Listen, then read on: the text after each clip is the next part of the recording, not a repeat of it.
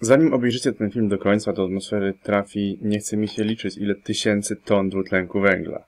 Pierwszy punkt krytyczny, po którym to wszystko je jak klocki domina jest coraz bliżej, a tymczasem przewodniczący konferencji klimatycznej przekonuje, że ograniczenie spalania paliw kopalnych wcale nie pomoże w utrzymaniu globalnego ocieplenia w ryzach.